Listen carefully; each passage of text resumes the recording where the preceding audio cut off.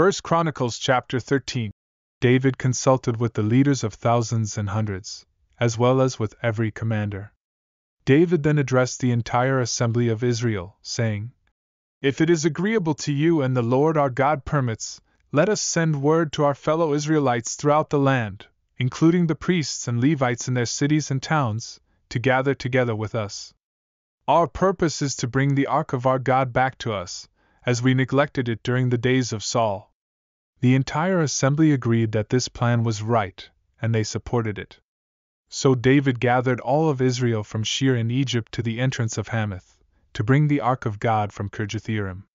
David and all Israel went up to Baalah, that is, to Kirjathjearim, which belonged to Judah, to retrieve the ark of God, the Lord, who dwells between the cherubim, and whose name is invoked upon it. They transported the ark of God on a new cart from the house of Abinadab, with Uzza and Ahio driving the cart. David and all Israel celebrated before God with great enthusiasm.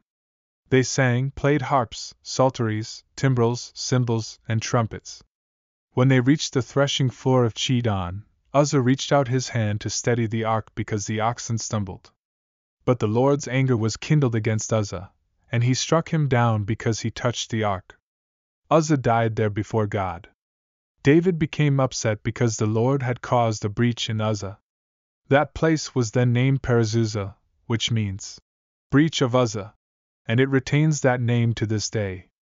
David was fearful of God on that day, and wondered how he could safely bring the ark of God to his home. Therefore, David decided not to bring the ark to the city of David. Instead, he diverted it to the house of Obededom the Gittite. The ark of God stayed with the family of Obededom in his house for three months, and the Lord blessed Obededom and all his possessions.